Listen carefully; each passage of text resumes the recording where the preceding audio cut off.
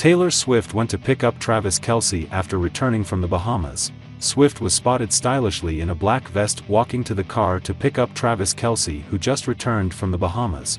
Taylor Swift and Travis Kelce are two very busy people. However, the stars have aligned, and they are both currently on break from their demanding career responsibilities. Swift is on hiatus from her Eras tour, while Kelce is still feeling the aftermath of ending the NFL season with another Super Bowl win.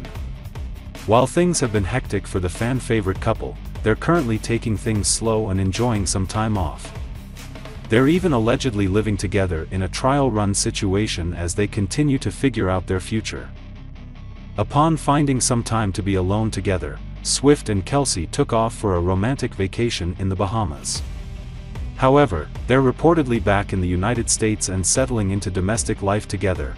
The source also said that Kelce and Swift are so cute together. The couple recently enjoyed a date night at the members-only West Hollywood hotspot the Bird Streets Club.